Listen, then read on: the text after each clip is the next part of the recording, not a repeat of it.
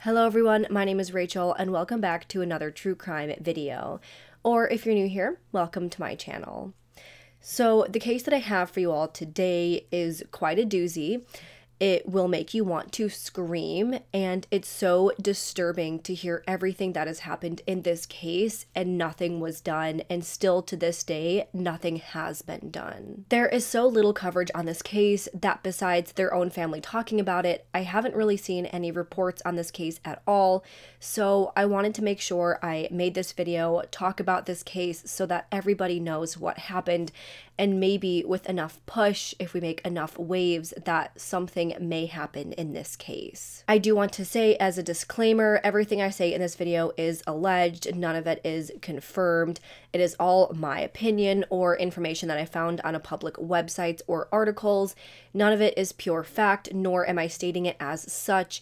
I am simply using my platform to deliver information that has been alleged by the people involved in this case. With that being said, today we are going to be discussing the death of Grant Solomon and the ongoing abuse of Gracie Solomon. This case starts with Grant and Gracie's mother, Angie. Angie grew up in a household that was less than ideal. However, through that, she was able to persevere. She grew up playing basketball and she had a beautiful singing voice. She went on to get her bachelor's degree and then her doctorate in pharmacy. After that, she bought her own home and she was on her way to living a fulfilling, amazing life and having an amazing career. However, as an adult in 2001, Angie became reacquainted with a boy that she knew from high school, a man named Aaron Solomon. At the time, Aaron had been a sports anchor for WSMV4, the NBC News affiliate for Nashville, Tennessee. The two quickly began a relationship, and only six weeks after, Angie became pregnant with Grant, who was born on June 13, 2002. After this, she felt that she really had no choice but to marry Aaron. She said that her parents pressured her to marry Aaron so that her baby would have a father, even though she fully intended on raising Grant on her own. Either way, she did become married after being in a relationship for about two months. Then, four years later, on October 17, 2006, Angie gave birth to her second child, a daughter named Gracie. Growing up, Grant was described as being an upbeat, talented young boy. He was close to his mother and especially his little sister, Gracie. He saw himself as a protector to his little sister and his mother. He started playing baseball when he was only four years old, and the baseball field was basically his sanctuary. He grew into a talented baseball pitcher who was being recruited by Division One schools when he was in high school. He was popular in school and he was described as a very loyal friend. However, pretty much immediately after Angie and Aaron had Grant, the relationship between them became very, very tumultuous. She reported that throughout this entire time, Aaron had many violent outbursts. He was manipulative and did whatever he could to keep her under his control. He cheated on her numerous times as well during all of this. By 2008, Angie allegedly found out that not only was Aaron involved in multiple affairs, but she alleges that he was grooming several underage girls and hiring sex workers. By 2011, it was said that Aaron willingly stepped down from his job as a sports anchor. However, Angie alleges that he was actually fired after inappropriate content was found on his computer and his phone. By 2014, he became a financial advisor for the investment management firm Merrill Lynch. Throughout all of the abuse and issues that Angie was facing, Angie said that she tried attending therapy, but she said that Aaron refused to give her any sort of privacy he would try to come with and listen in on the sessions, and he wouldn't really let her be alone for any extended amount of time. Eventually, after a few sessions with the therapist, Aaron joined the therapy sessions with her, and Angie said that she was diagnosed with PTSD from all of the abuse that she had suffered all throughout her life, including when she was a child. And allegedly, Aaron was diagnosed with narcissism and sex addiction. Some reports say that even though he was abusive all throughout the relationship, it was said that after Gracie was born, there was even a bigger shift. Aaron seemed angry all of the time, especially towards Grant and Angie. Then, by early January of 2013, Five year old little Gracie went to her mother with some horrifying allegations. So, for a period prior, Aaron would not allow Angie to give Gracie baths, only he could give her baths. Then Angie started to notice that Gracie would become very upset and would beg not to take baths. And it wasn't until Gracie went to her mother with these horrifying allegations that Angie would actually figure out why. Without quoting her directly, because it's very, very disturbing, Gracie told her mom that her dad was sexually abusing her during bath time by putting soap inside of her and that he was really, really hurting her. Angie confronted Aaron about this and allegedly, now I'm going to be saying allegedly throughout pretty much the whole video, but either way, allegedly, he did admit to Angie that it was true. But apparently, he told Angie that if she told anybody about it, that he was going to take her children away from her. At this time, Angie was starting to see her own therapist, a therapist named Dr. Reed, to try and come up with a plan to try to get away from Aaron. She started taking notes on her phone of the different incidences and emailing back and forth with her therapist to try to formulate a plan. This whole time, I want to note that Gracie alleges that her grandparents or Angie's parents knew about the abuse coming from Aaron, but they continued to support him for one reason or another. And we will see more of that in just a minute. I just wanted to put that out there so when I mention what I'm going to mention next, it kind of makes more sense to you. By May of 2013, things would come to even a worse level than they ever had been before. Now, before this, Angie, Grant, and Gracie all started to sleep together in the master bedroom without their father. They would also go in the master bedroom and lock themselves away whenever Aaron would have these angry outbursts. On this day, on May 9th, 2013, the same thing happened where he had this angry outburst and everybody tried getting away from him. So Angie took herself and the kids away from Aaron in the master bedroom. However, at some point during all of this, Aaron called Angie into the bathroom where he allegedly hit her on the side of the head and then started strangling her with a cord of a hair dryer. As all of this was happening, Grant apparently walked in and witnessed his dad strangling his mother. So he was able to step in and he was able to stop Aaron from allegedly trying to kill Angie. Angie was able to get out of the house in that moment, but neither Angie or Grant ever reported anything. Angie said that she was too scared to report it herself, you know, understandably. And she told Grant also not to tell anybody because she was afraid for his safety as well. However, it turned out that Aaron actually did call 911 to report this incident.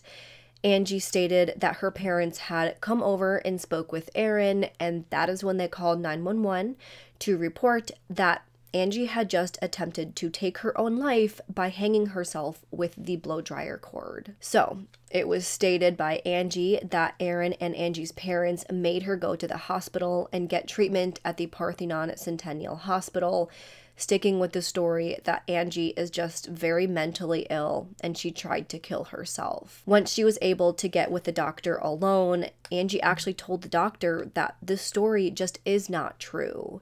She said that she didn't try to take her own life.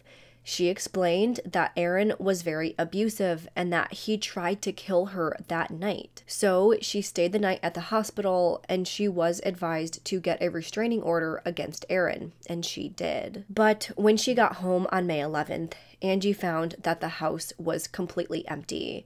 Aaron and the children were all gone. She tried contacting her parents, Aaron's parents, and Aaron, none of which would answer her repeated phone calls. The following day, on May 12th, it was Mother's Day. So she was hoping that, you know, he was going to bring home the children on this day, at least to see her on Mother's Day. So she waited. But the next thing she knows, instead of Aaron and the children showing up, the police show up at her house. It turned out that Aaron called 911 once again and told the police that Angie was suicidal. But the police here did not think that there was any sign whatsoever that she actually was suicidal. They agreed that she probably was in an abusive relationship and they left without taking any further action. Now I'm going to read the medical report from the night that Angie spent at the hospital. It reads These mental health records indicated that Dr. Solomon was seen at Centennial Medical Center for suicidal ideation. The record indicated that her stay was less than 24 hours. The psychiatric evaluation noted that Dr. Solomon was brought by the paramedics and accompanied by her husband and her parents. The note indicated that the staff admitted her out of caution despite the confusing presentation of abuse versus a suicide attempt. The note suggested that Dr. Solomon was likely in an abusive relationship with her husband. It also indicated that she was likely mistreated as a child by her parents. The admitting physician, Michael Murphy, MD, according to the chart, spoke with Dr. Solomon's outpatient psychiatrist who stated that the plan was for Dr. Solomon to move out of the house and obtain a divorce. The chart indicated that Dr. Solomon did not appear to have any signs of depression and she was not voicing suicidal ideation. The chart indicated that the outpatient psychiatrist confirmed that the patient has not had a previous suicide attempt. The admitting physician documented that it does not appear that there is any evidence that the patient tried to hang herself, and I do not believe that she is in an acute mood state that would lead to suicide. She was admitted with the diagnosis of major depression in remission and given a global assessment of functioning score of 65. In the hospital course of the discharge summary, it was noted that the patient was telling the truth about the situation and she was in a risky situation with her husband, who appeared to possibly be volatile and violent, although this was uncertain. The patient's parents also appeared to be unreliable sources of information. It was noted that Dr. Solomon was calm and cooperative with the assessment and admission process. The chart indicated that Dr. Solomon was not started on new medication. She was discharged on the same outpatient medication schedule. So clearly, as we can see from her admitting doctor's note, there was no concern for her having any sort of suicidal ideation or actions at any point. There was no concern that she was a harm to herself or anybody else around her. Clearly, the note indicates that she may be in an abusive situation and that neither her husband nor her parents are reliable witnesses. At this point, Angie had already gotten a restraining order against Aaron.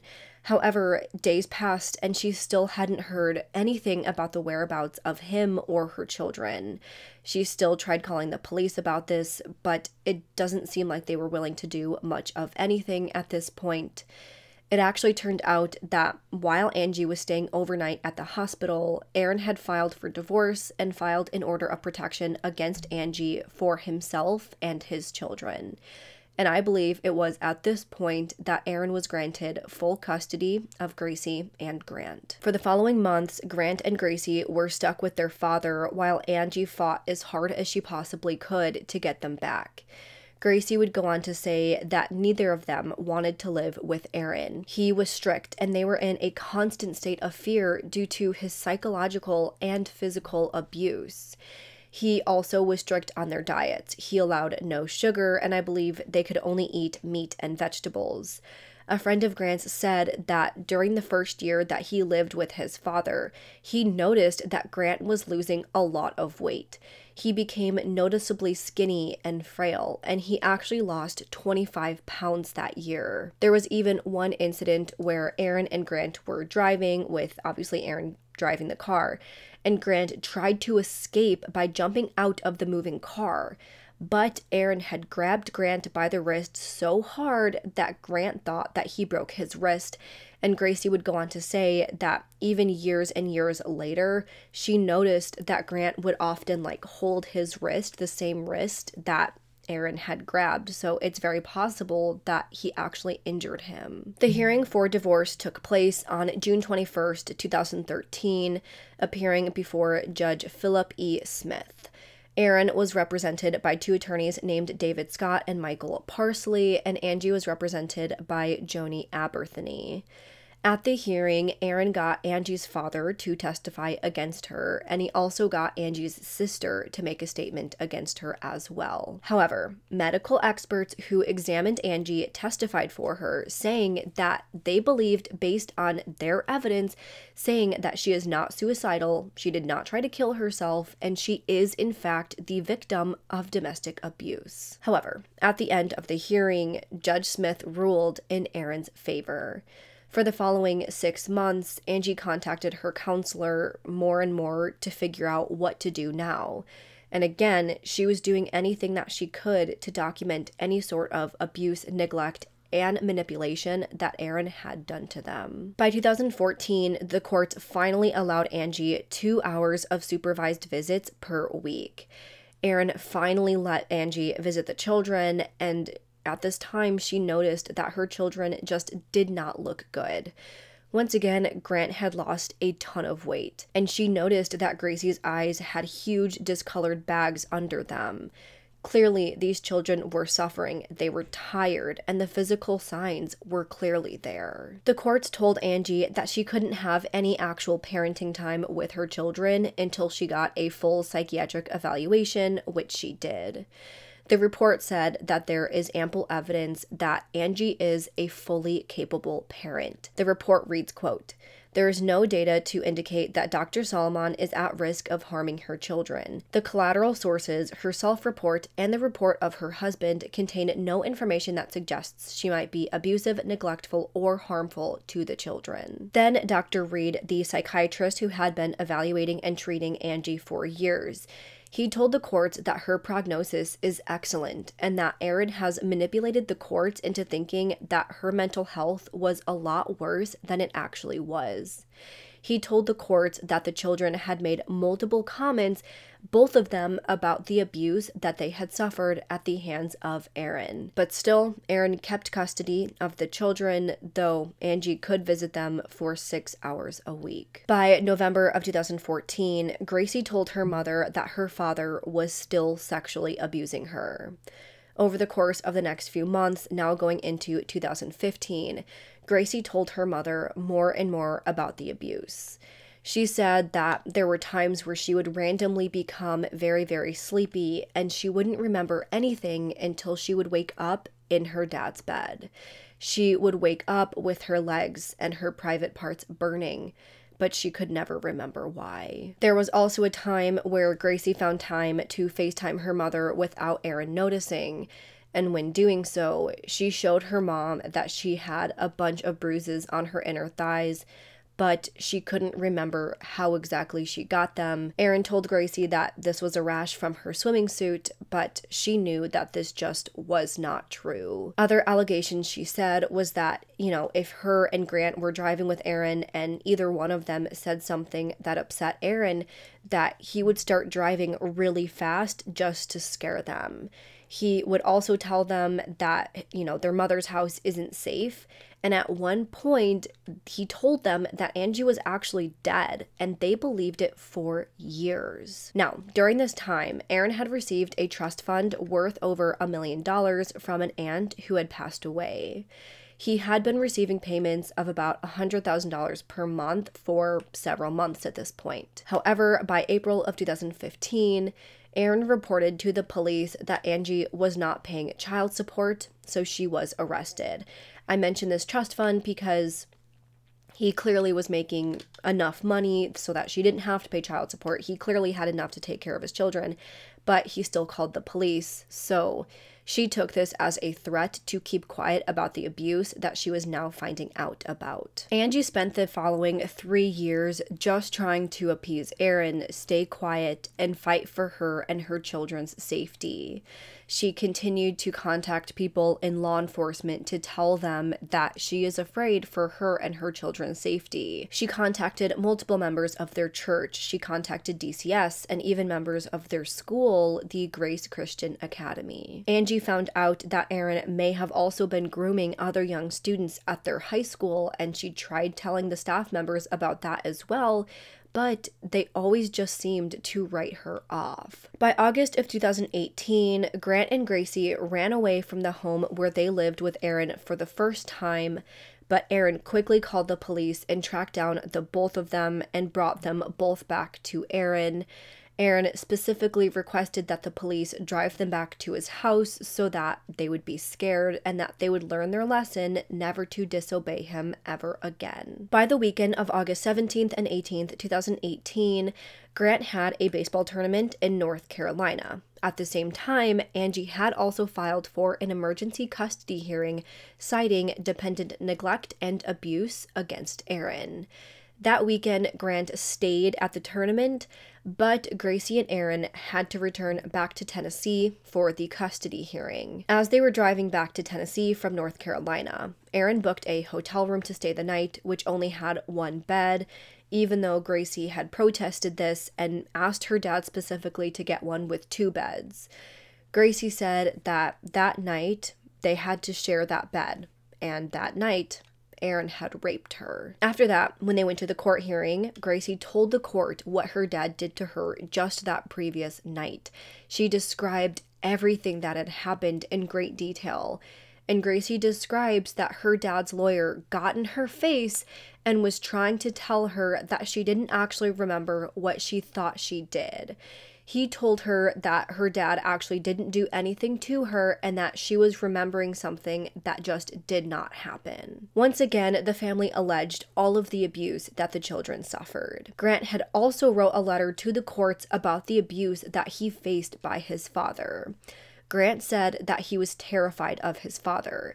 His father restricted his food, restricted when he could use the bathroom. He humiliated him, calling him fat and making him work for baseball constantly without any breaks. Grant said that Aaron only cared about him as a reflection of his own parenting excellence, which people could see through Grant's baseball talents. He said that his dad would lie about his mom, saying that she was mentally ill, but it wasn't true. He said that he had proof that she wasn't mentally ill, but the courts just would not listen.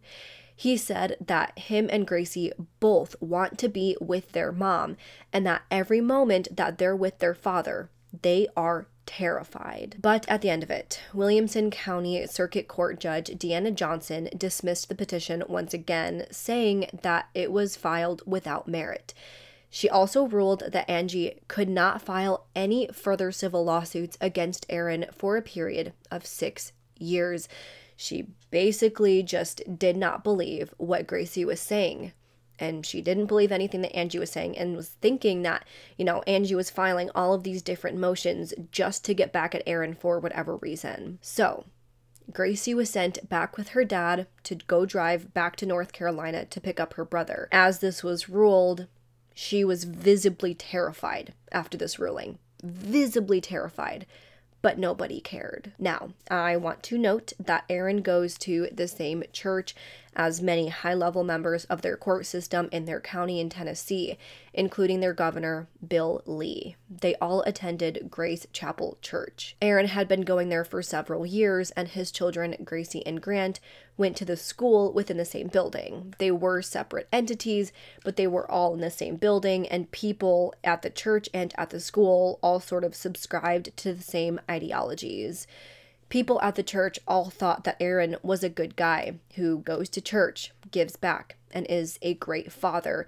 And it seems that through all of these court hearings, including this one, it has been said that there is an ongoing bias with all of these different people through law enforcement, the courts, and the governments who are all inclined to believe Aaron because they all attend the same church, therefore have the same ideologies. Then, in this specific case, to add to that, it was said that Judge Johnson had spoken with the pastor of their church shortly before the ruling, so Angie thinks that there's some sort of bias there as well.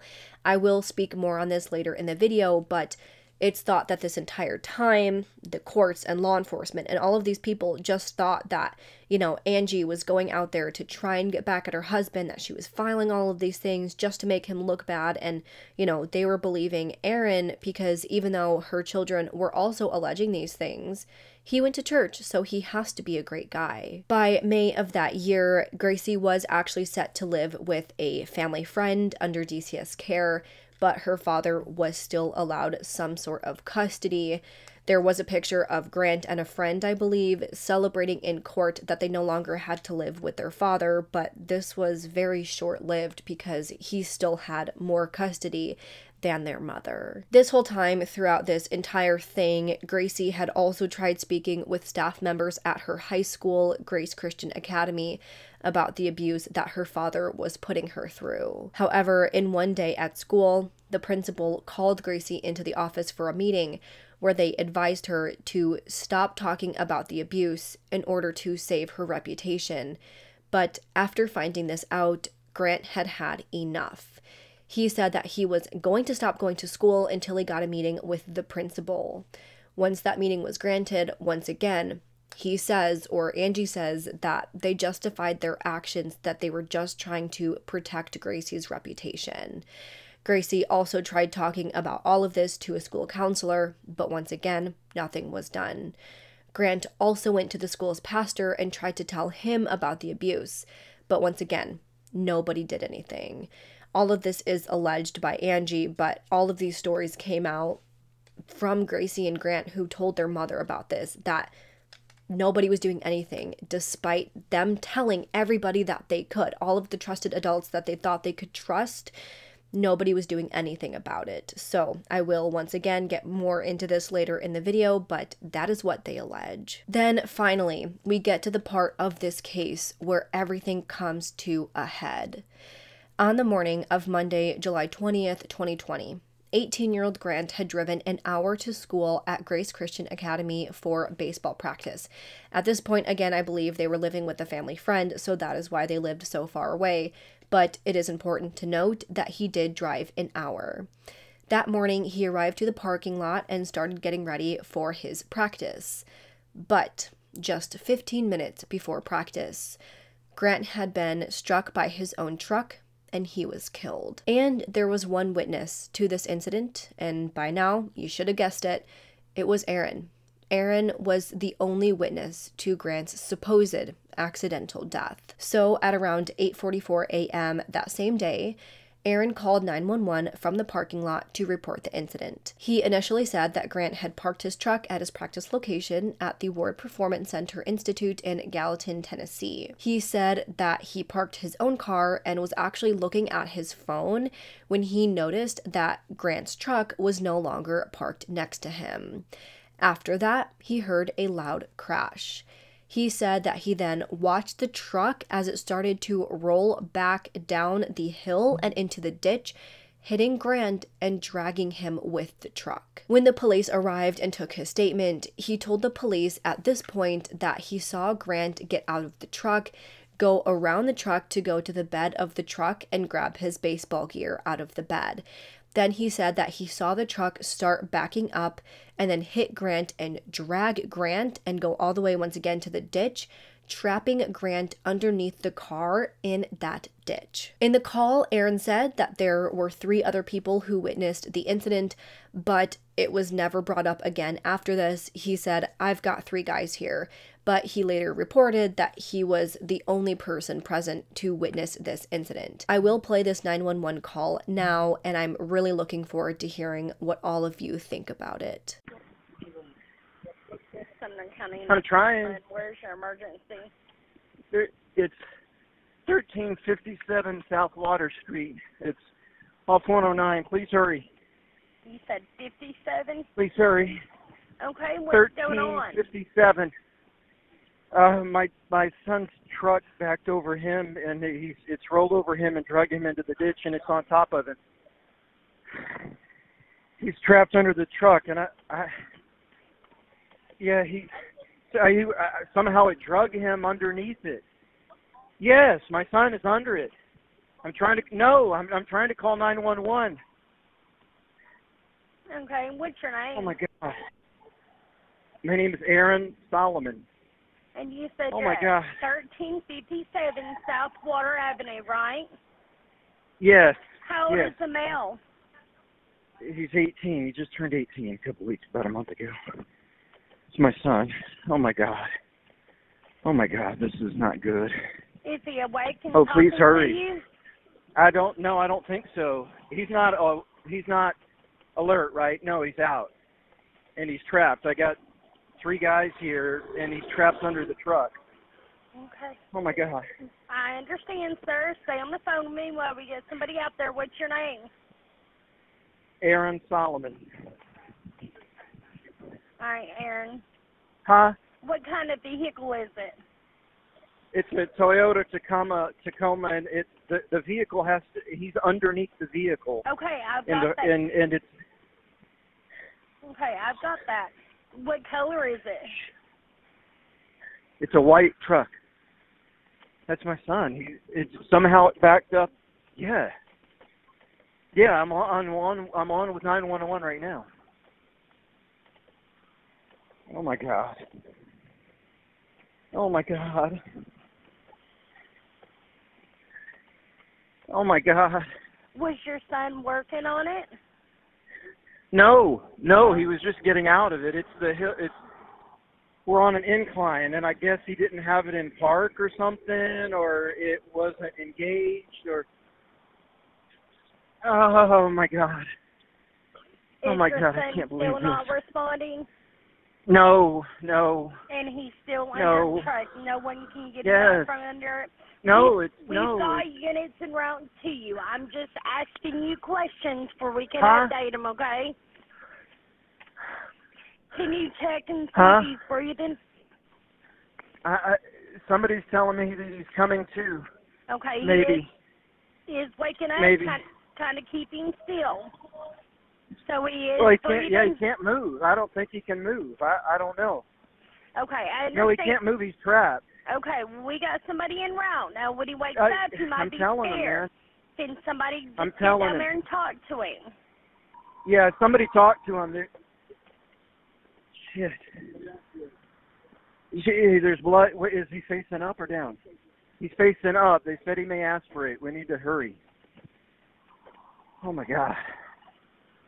So does he have blood coming out of his mouth? Yeah, he's yeah. There's blood coming out. Yeah, somehow it drug him down. I think I don't know whether it wasn't in park or what, or if it didn't engage the brake, or it drug him underneath somehow. Okay. They said he's facing up. Okay. but he's bleeding from his mouth. So, Grant, turn your face to the side if you can, barely, but be careful. Don't move him, okay?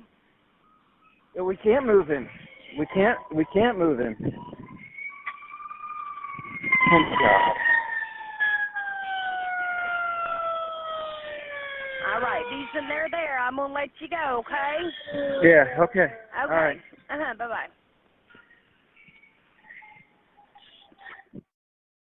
Personally, in this 911 call, I think he sounds really calm. He keeps saying that Grant is trapped, but he never actually went over to the truck and looked under it to see that he was actually trapped.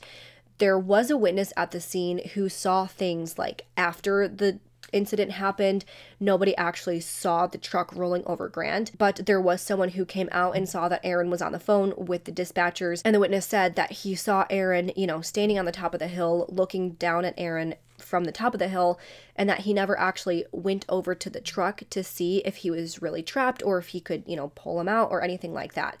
That is what this other witness said. He said that Aaron was just pacing back and forth as he was on this 911 call. So that's all to say that, you know, this witness basically told us his behaviors and his mannerisms during the call. And once again, he didn't actually go over to Grant to try to help him or to see if he was really stuck under there.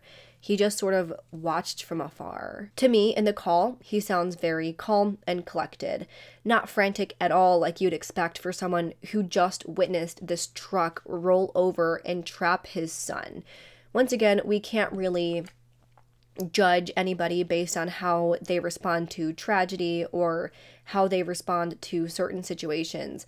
But you'd expect a little bit more urgency in his voice, at least in my opinion. Again, you guys let me know what you hear and what you think. But that's just my thoughts on this call so far. I don't think it sounds right. Ambulances arrived shortly after this call. According to the police reports, when they got there, Grant had been laying on his back underneath of the front of the truck, and he had been between the tires, so the tires weren't actually putting any weight on his body at the time. He was bleeding from his scalp, his nose, and his ears. He was initially unresponsive when they found him, but he was still breathing at the time, though he was barely alive. Paramedics removed him from the bottom of the truck, put him into the ambulance, and began CPR. However, by the time they reached the hospital at 9:30 a.m., he was pronounced dead. According to the hospital staff, he was found to have one laceration on the back of his skull which had been bleeding. Then he had three bruises, one to his jaw, one to his left hip, and the other near his right thigh. He did have a head injury, but his cause of death was determined to be a cardiac arrest. The police took down Aaron's report and he met with them at the hospital where Grant was, and he was given paperwork to fill out.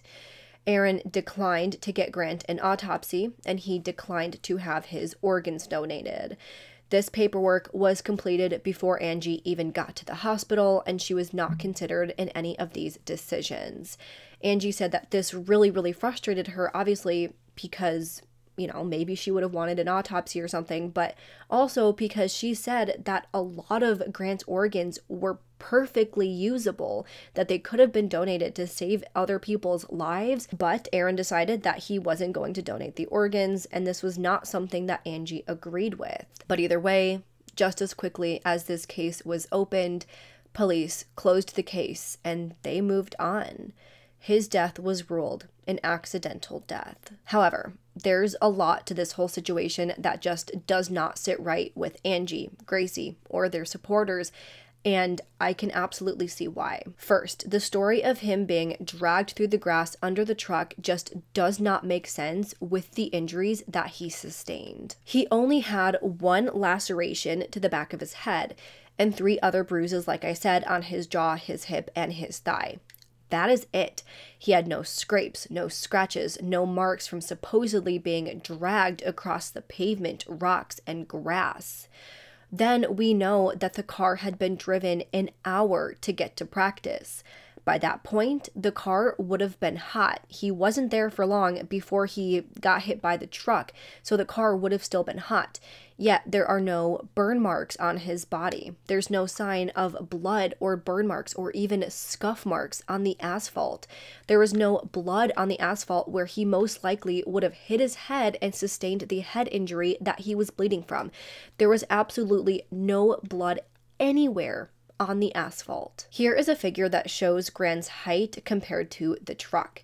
He is 6'3 and he was apparently backed up and over by the truck, got pinned under, even though it was reported that the weight of the tires were never on him. If he had been hit by the truck like that and dragged underneath, you'd expect bruising on his back, his buttocks, and the front of his abdomen. You'd expect scrape and scratch marks. Then, if it had backed up and hit him, you'd expect that this is where he would fall backwards and hit his head. It wouldn't have happened at any other time because, again, the blunt force is what would have caused him to fall back and hit his head. Yet once again, there are no marks or blood on the asphalt.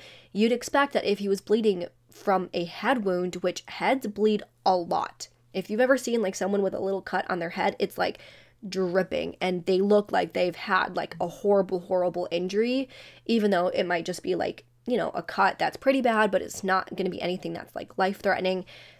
If he got a cut to the back of his head, you'd expect there to be blood marks. You'd expect it to be dragged across the asphalt, or at the very least, one spot of blood but there was nothing. Then we have this picture of the shoes that Granton was wearing when all of this took place.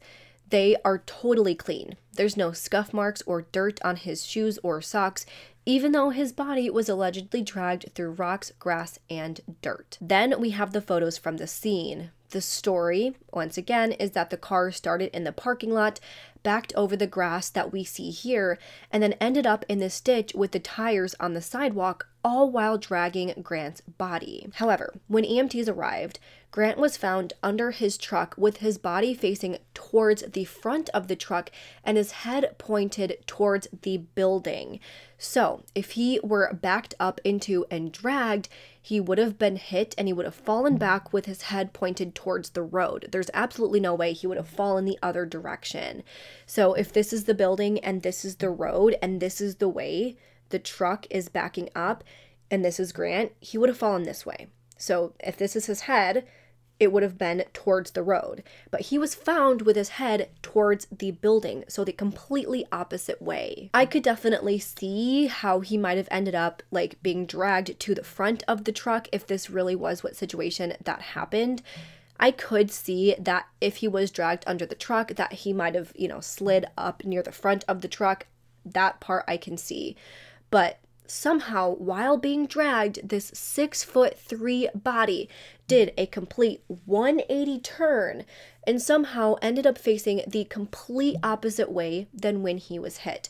Once again, just to show you how ridiculous that is, people are trying to say that Grant fell this way, was dragged under the truck, and at some point during all of it, he went like this. His body completely turned the opposite way and was found a complete 180 from where he had fallen and how he was hit. That makes absolutely zero sense. Then, once again, when we look at the scene photos, there are no truck tracks through the grass. The grass is still standing and looks undamaged. No matter what angle you look at, the grass looks like it had not been driven through, let alone a body dragged through. Then we see that there are tire marks on the sidewalk leading to the ditch. The tire marks are a clear indication that the car had driven forward onto the sidewalk. Once again, there are no tire marks in the parking lot where allegedly he was dragged. There's no scuff marks on the asphalt in the parking lot, once again, where he was allegedly dragged but there are on the sidewalks that showed that the car drove forward. Then they found that Grant's glasses were up on the sidewalk. Grant always wore his glasses and he could not see without them. So clearly, at some point, he was standing on the sidewalk and either dropped his glasses or they were knocked off of him somehow, or someone took his glasses from him and put him on the sidewalk for whatever reason. They weren't in the parking lot where Grant was allegedly hit by the car. Once again, if Grant's here in the parking lot and he falls back and his glasses fall off at any point, it would have been when he fell. It makes no sense that his glasses would have stayed on him that entire time as he's being dragged, and then after he's pinned under the car, his glasses somehow fly off of his face and land on the sidewalk. Make it make sense. Then we see that there is a bloody rock found next to the front driver's side door in that ditch. The one injury that Grant had where he was bleeding was when he suffered blunt force trauma to the head. Yet, as we said, there's no blood on that pavement, only on the rock in this ditch. So, did he hit his head on this rock where there's clearly blood found? Or did he hit his head on the pavement like Aaron said? Then, if this truck backed all the way up into the ditch, you'd expect a lot of major damage to the truck. When I first saw these photos after hearing the story, that is something that immediately struck me when I saw the scene photos without reading anything else. That car looks completely fine.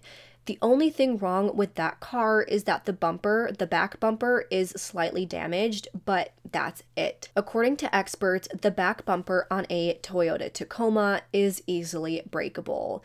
That's like the one thing that owners of this truck complain about that the back bumper is designed to break at only minor collisions. When EMTs arrived to the scene, they immediately used a jack to lift the car up and get Grant's body out from under. The jack would have caused the back bumper to make contact with the sidewalk, and that could have been what caused this very minor damage. Once again, the story is that it backed up all the way across the parking lot, slammed into that ditch so hard that it kept going up the other side of the ditch. It doesn't just happen that easily. You see how deep that ditch is. It's not just going to go in and slowly go back on the other side. It's going to go in, slam on the ground, and come up before it actually ends up on the other side of the sidewalk. It's not just going to do it gently to cause no damage there would have been a lot more damage to that car if this was the story of it backing up and going into that ditch and ending up the way that it did. I think that the story that is being told would have caused a hell of a lot more damage to that car than we see on that car. So, that is everything that is wrong with the scene. Then, to add to that, after this incident, The truck was returned to Aaron's driveway where it was kept until the following year. By February of 2021, Angie found out that that truck had been sent off to a scrapyard in Nashville.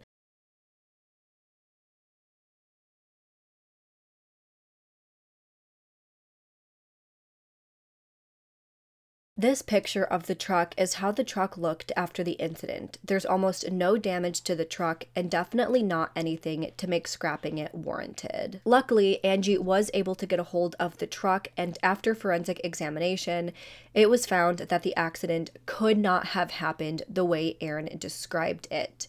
I don't know the details of that. I don't know the details of the forensic examination or who actually performed it, but that is the conclusion that Angie said that they came to. Yet, through all of this history of domestic violence allegations, his son dying, his daughter claiming to be raped and abused, and the scene just not adding up, the car being found not to be consistent with the story, Grant's injuries not being consistent with the story, the Gallatin Police Department will not open up an investigation. The family believes that there is foul play at the hands of Aaron. Grant had literally just freshly turned 18, literally a month before this, and he had always stuck up for Gracie and always had full intention of doing whatever he could to protect her now that he was 18, he was an adult, and maybe now he'd be taken more seriously in the courts and in the church. The family thought that Aaron drove the truck over the sidewalk where Grant may have been standing and hit Grant so that he fell back and hit his head on this rock and then left the car there over him, killing Grant all to kill Grant and stop him from exposing Aaron for the abuser that he allegedly is. If you look at the scene and Grant's injuries, and everything else that I told you. Try to explain both scenarios in your head. Just intuitively, which one makes more sense?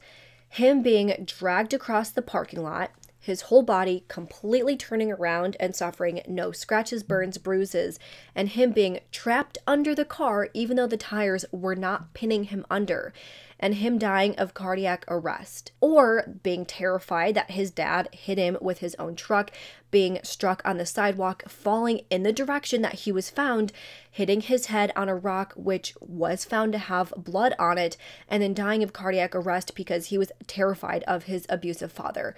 Which one makes more sense to you? you have to do a lot of mental gymnastics to say that the first one makes more sense than the second one. So, by May 12th of 2021, 14-year-old Gracie decided not to allow these secrets and lies to go on any further. She posted an 18-minute long video to YouTube where she alleges everything that happened to her from the time that she was a child. I will try to put in as many clips of this as I can so long as I don't have any copyright issues if I can't include it in the video, of course, it will be listed down below. She states that her father is a liar, a manipulator, and violent. He has tried to kill her mom, he has hurt her, and she believes that Aaron killed Grant and is going to kill her. She said that for the prior two years before Grant's death, she set boundaries with him after going to therapy with him, and he actually has mostly stuck to them. The abuse has pretty much almost all stopped. But after the death, it was right back to where it was. Gracie said that Aaron will just show up at her house and come inside to hug her or touch her hair. He constantly tries to get her to come with him to his house, and she always has to say no. He will find her friends and take videos of them and send them to Gracie. She said that they do have a restraining order in place, but he's not listening. He's still showing up to the school. He's still trying to get back into contact with her, and she just has not been able to catch a break from him.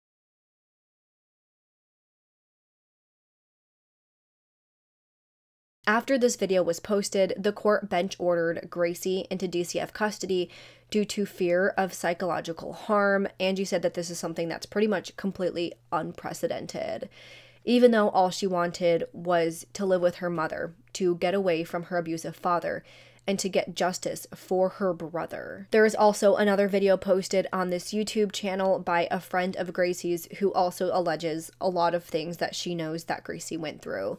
There is also another YouTube page called Justice for Grant, I believe, where they basically go through the scene and everything in different videos to point out all of the inconsistencies.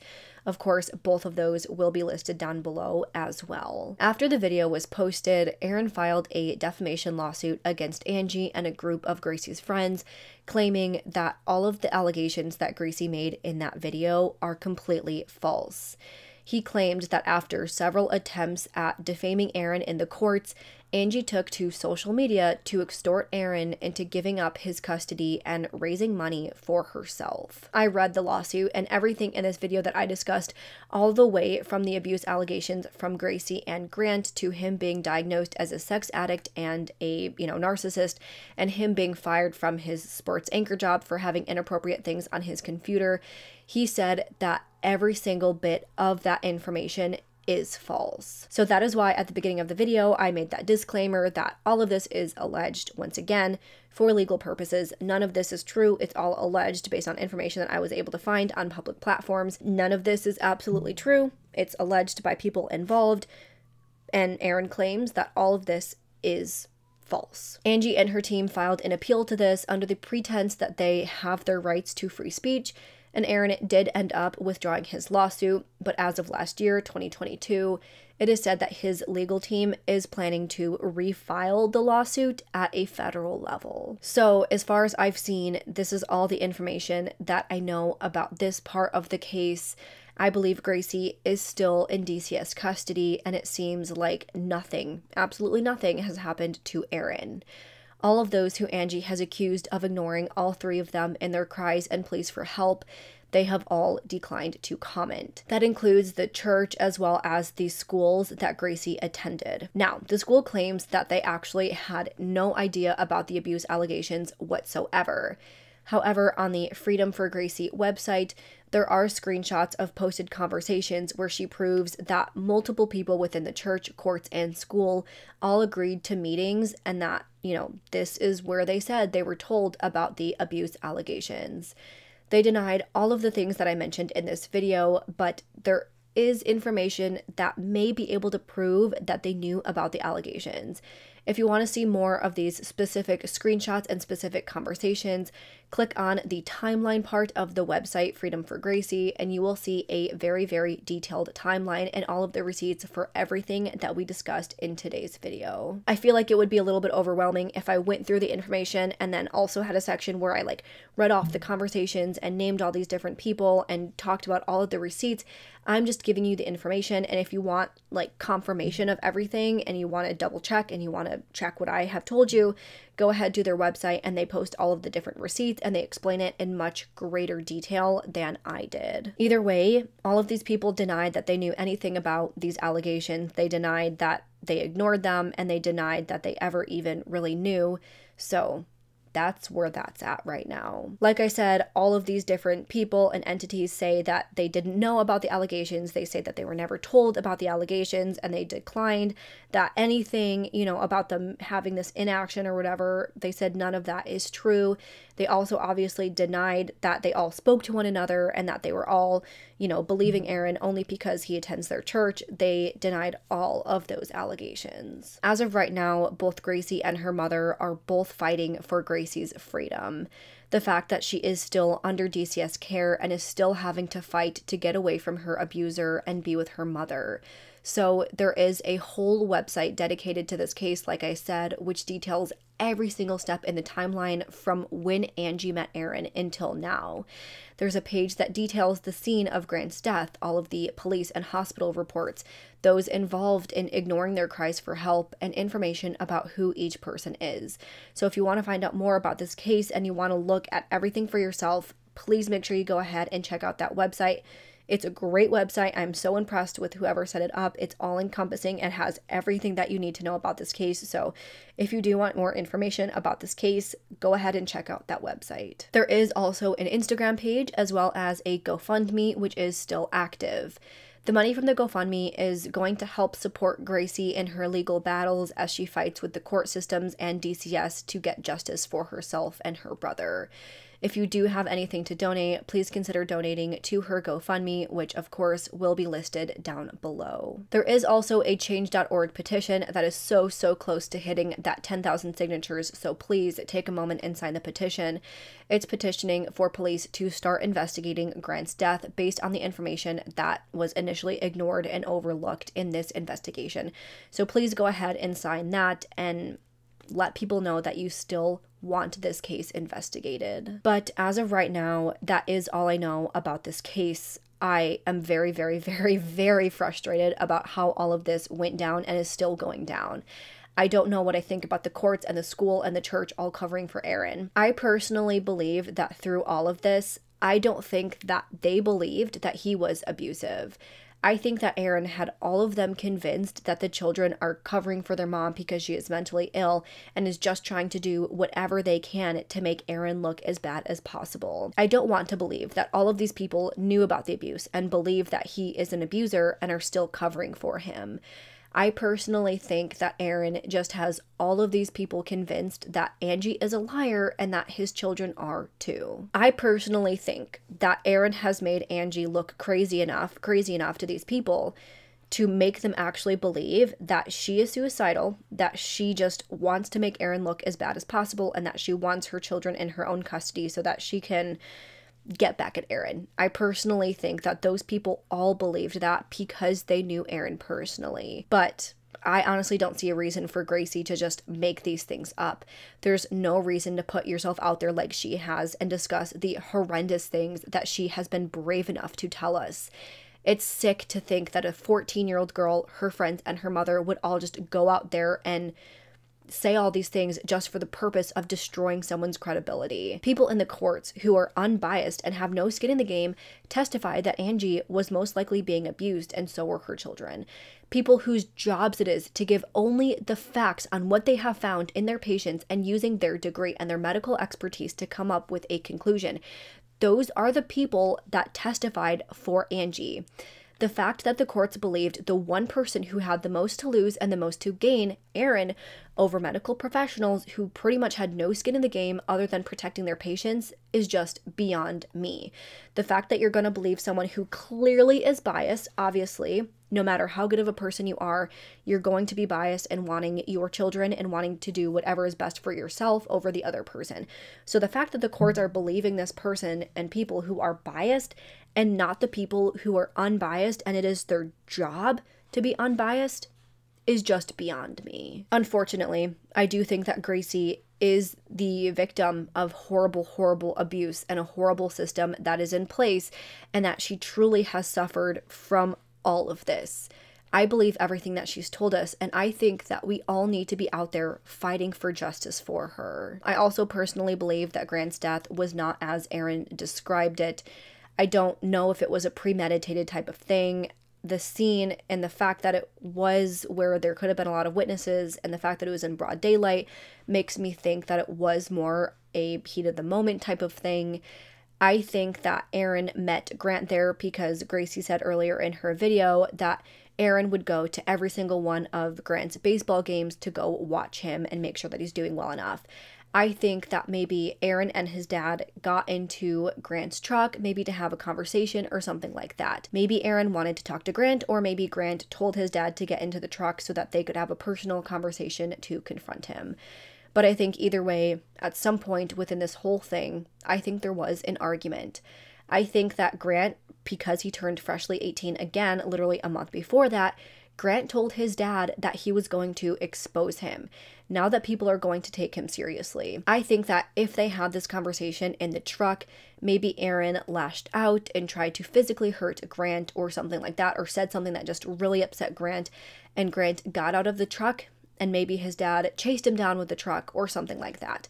I don't know for sure, but I think somehow in all of this, Grant got out of the truck and Aaron was still driving. Again, we don't know exactly how because Aaron's really the only person that knows how this went down, but I think that Grant at some point ended up on the sidewalk. Then Aaron was on the road and drove over the sidewalk and hit Grant head on, causing him to fall into the ditch and was killed that way. Again, we don't know the details. We don't know how exactly or why but I think that Aaron was hit on that sidewalk and I think that was how he was killed all of the evidence points towards that being the scenario, and all of the evidence points directly away from the situation that Aaron described. The fact that the scene was how it was and nothing matches up, and again, with all of these other accusations, it is insane to me that the police will not reopen this investigation.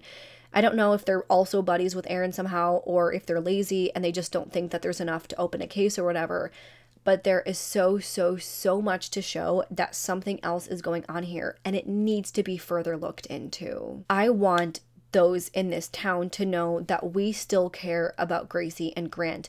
People out there need to know that they have supporters out there who care about what happens in this case. So please, if you want to follow this case and support Angie and her children, please follow the Freedom for Gracie Instagram page, sign the petition, donate to their GoFundMe, and check out their website.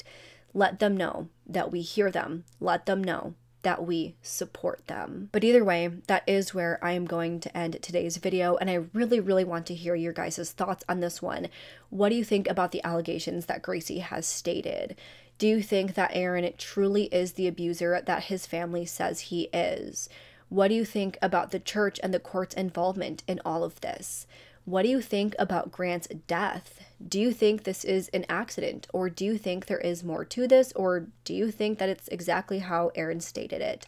Let me know all of your thoughts in the comments down below. But either way, if you liked this video, please make sure to go ahead and leave this video a thumbs up and subscribe to my channel. I put out new true crime and mystery videos every single week. Don't forget to go ahead and turn the notification bell to on so you don't miss out on any of my future videos. Make sure you go ahead and follow my Twitter and Instagram. Both will be linked down below. And if you have absolutely any case suggestions, please make sure to go ahead and send those suggestions over to my Google Doc, which will be listed down below. With that, I hope you guys have an amazing week. Stay safe, stay healthy, and I hope to see you next time. Bye.